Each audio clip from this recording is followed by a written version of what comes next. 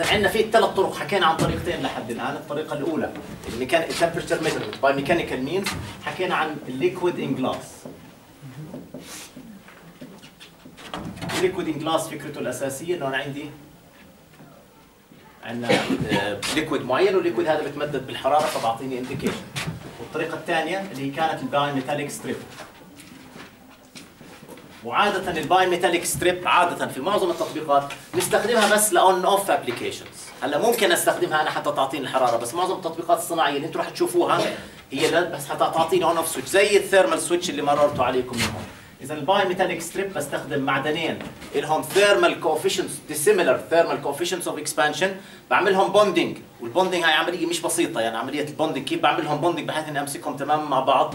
وبعدين بتغير درجة الحرارة راح يتمدد واحد منهم أكثر من الثاني فراح ينعكس آه، يصير تقوس بالشكل تبعهم وهذا التقوس راح يعطيني on off والنوع الثالث اللي هو اسمه fluid expansion thermometers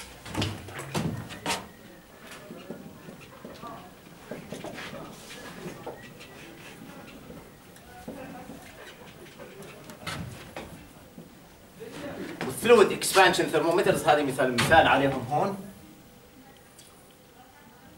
في عندي هون liquid يعني هاي طبعا أكثر الأشياء الصناعية للتطبيقات الصناعية. عندي liquid وعندنا هون vapor وبعدين عندي أنبوب. والانبوب هذا بقدر امده لمسافه طويلة من ال process يعني هون في عندي process معينة. لو بدي درجة حرارة ال process هاي بشبك هون من ال outlet على أنبوب. والأنبوب هذا باخذه على شيء اسمه؟ Bourdon gauge وال Bourdon gauge هو عبارة عن pressure measurement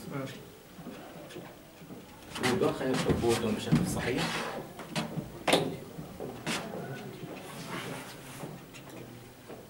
Bourdon pressure gauge فهون عم نحول إحنا التغير في درجة الحرارة إلى تغير في الضغط وبعدين بنقيس بال Bourdon gauge ال Bourdon gauge هو عبارة عن بكون مثلا عبارة عن C آه لو أنا جبت أنبوب انبوب نحاسي. وبعدين طعجت هذا الانبوب النحاسي بحيث إنه صار شكله زي حرف ال C. لو سكرنا هذا الطرف وعرضنا هذه النقطة هون ل pressure إيش راح يحاول يعمل ال C؟ راح يحاول يتمدد، عارفين مثال عليها زي إيش؟ عارفين هاي اللي بيلعبوا فيها الأولاد اللي بينفخوا فيها؟ النفخ.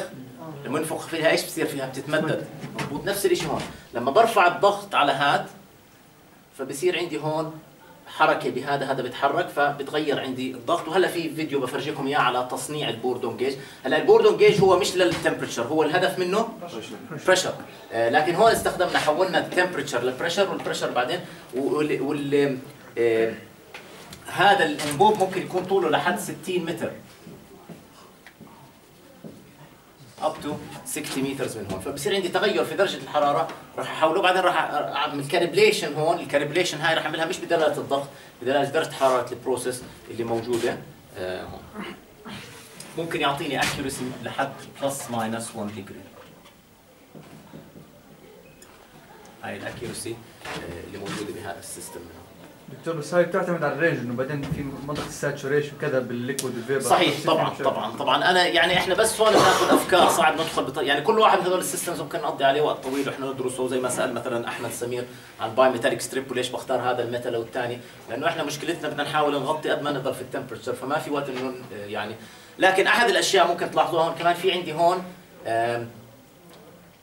system dynamic response لهذا ال system من هون آه؟ إذا كانت بس هون ال temperature طبعا هي بطيئة تغيرها بطيء بس لو كان في تغيرها سريع لها frequency عالية راح يكون هون في response من ناحية هذا الانبوب من هون.